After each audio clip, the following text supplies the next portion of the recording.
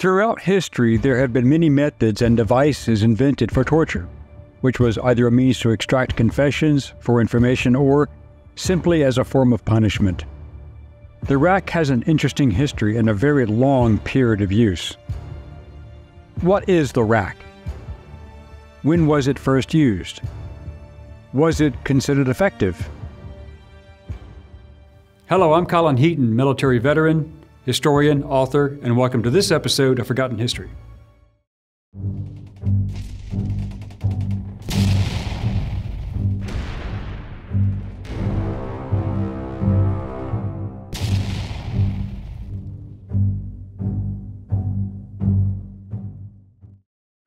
The rack is often depicted as a medieval torture device where a subject's hands and wrists are bound and their feet bound at the ankles. There were many different styles and variations of the rack, from a wooden or iron structure designed like a bed upon which the victim would be placed down on their back or front. Ropes or chains connected to the extremities by large cranks, wheels with handles which were turned taking the slack out of the ropes or chains, tightening until the victim's arms and legs were eventually pulled from their sockets. The rack seldom ended in the death of the subject, as most victims gave whatever information they thought would stop the pain rather quickly. It was later considered that any form of physical torture did not always elicit a truthful confession, as people would admit to anything to halt the process. It is believed that the Greeks may have first used the rack as a means of torture. The process was also believed to be used on slaves, citizens, and anyone else without prejudice. One recorded example was when a version of the rack was used to gain the confession from an arsonist named Herostratus, who was accused of burning down the Temple of Artemis at Ephesus in 356 BC. He was then later executed. Alexander the Great had the conspirators who plotted to assassinate him, including his historian Callisthenes, tortured on the rack in 328 BC. The Romans also had their version of the rack.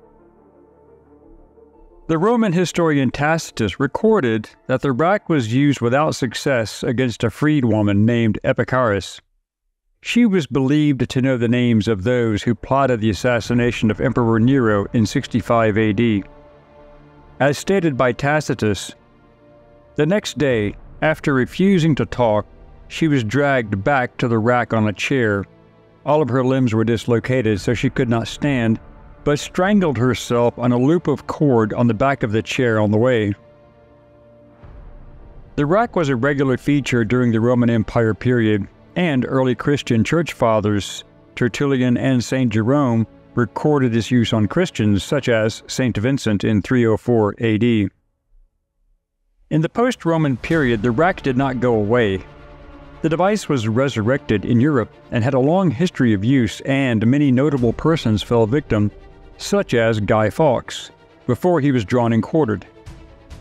It was first recorded as being used in England, starting with John Holland, the second Duke of Exeter, Holland was the constable of the London Tower in 1447, and the rack became widely known as the Duke of Exeter's daughter. The rack was used to persecute both Catholics and Protestants at various times for a variety of crimes, such as heresy, murder, theft, and, of course, treason. The rack was used in every European country to some degree, even the Muslims used it through their various empires and caliphates. It was still used in Russia up until the 18th century, and this was a strappado style device where the person was hung vertically by the wrist with weights or pulleys to stretch the limbs by the ankles using gravity.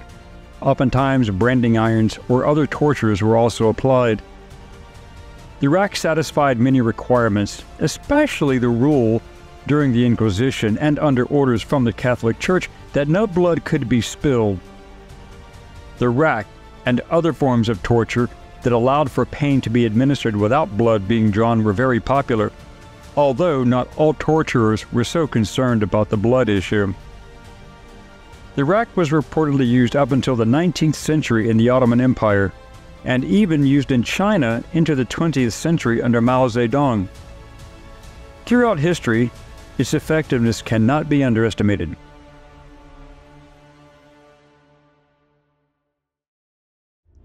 Thanks for watching today's episode of Forgotten History. If you like this episode, please consider becoming a channel member or joining our Patreon page.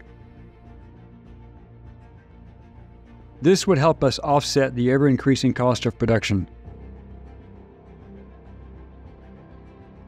As always, please like, share, and comment. And if you have any show ideas, please contact us and we'll get back to you as soon as possible. Until next time.